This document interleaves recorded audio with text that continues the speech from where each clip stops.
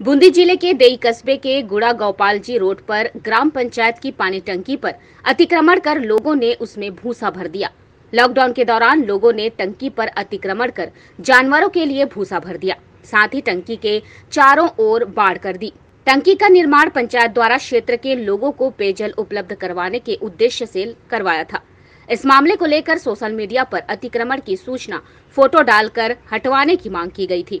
इस बारे में ग्राम विकास अधिकारी प्रेमराज पोटर ने बताया कि टंकी पर से पूरा अतिक्रमण हटवाया जाएगा।